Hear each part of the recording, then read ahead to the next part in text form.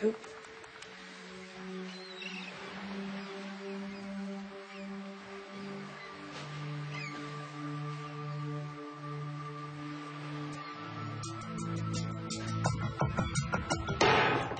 Who's there?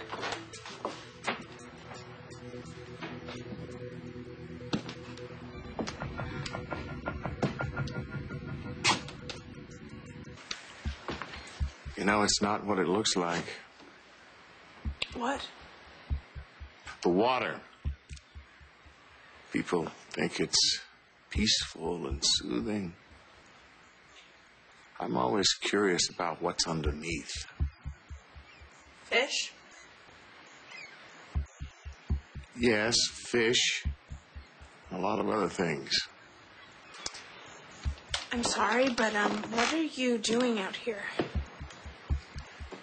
I uh, left something in my boat. Oh, oh, the big one. Yeah, the big one. Uh, you seem a little nervous. No, no, I'm fine. I was, I was just thinking about something else. What? I was just thinking about um, how good um, Daisy and Rafe are together. Well, I don't agree. I think he can do much better than her. Do you even know Daisy? I know that she's Harley's daughter. That's all I need to know. And I know that he deserves better than that girl.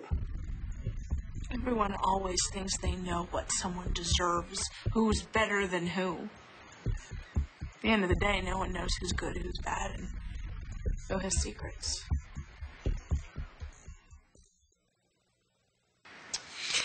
Everyone has things they don't want to talk about.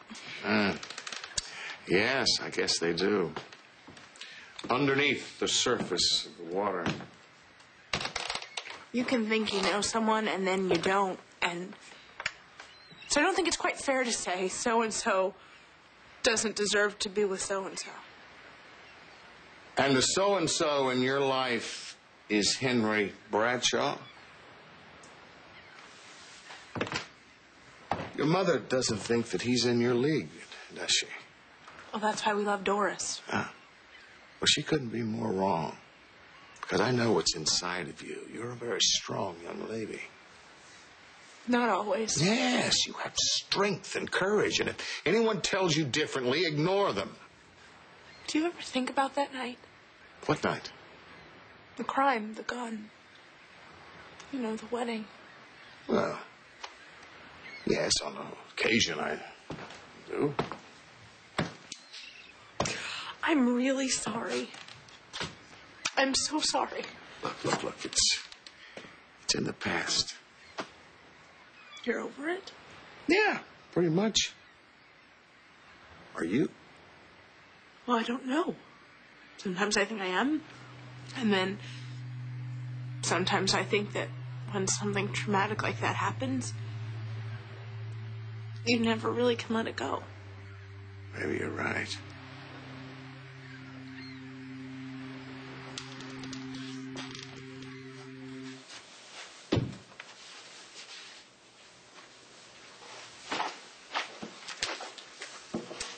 Um, Hello, Rafe. you got a cell phone? Whoa, whoa, whoa, whoa, whoa! Just a minute here. First rule of negotiation: always bid low. Now, Hilda, you would take probably ten dollars for that, wouldn't you? Okay. Hey, now that would be all. So, uh, you want to call Daisy, huh?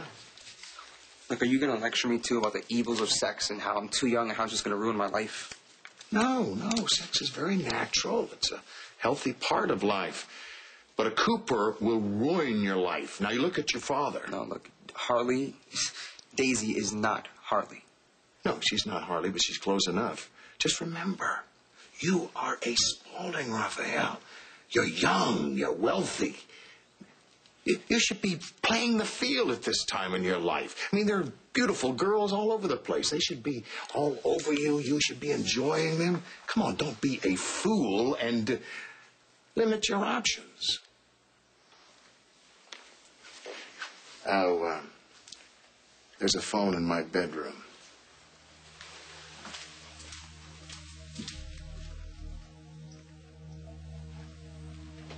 Cuba? Why did he ask about Cuba? Reva? What did you say? A flight plan. Oh, He wants a flight plan? I'll give him a flight plan. A plan that'll end him up right in the middle of the Atlantic Ocean. Look, I will take care of this, all right?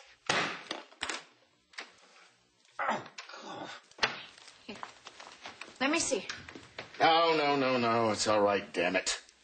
Okay, why don't you just relax then? Whatever is bothering you, I- I'm sure you will figure it out. You're the strongest man I know. So why get yourself worked up into a heart attack? Just for fun? That's a very good point. You're Alan Spaulding.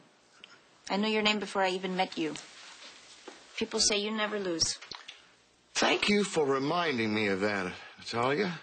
You know something? You're an amazing woman.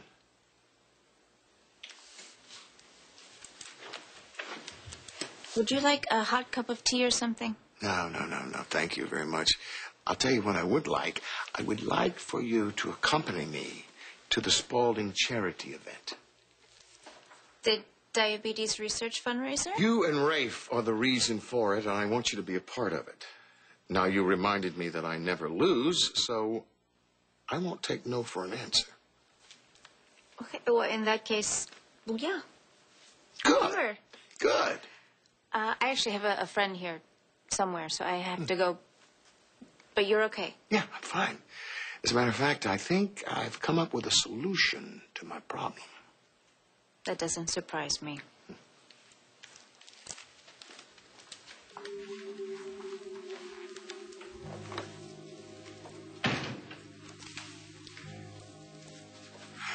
You've got to get out of there. Why? What's going on? O'Neill is breathing down our necks. Where is he now? He slipped out. Yeah, he slipped out to talk to my pilot. Now, I told you to distract him, Reva, but I don't know what you did. It, it had the opposite effect. I can turn it around. Well, what if he turns you around when you have too much to drink, or you mumble something when you're in bed with him?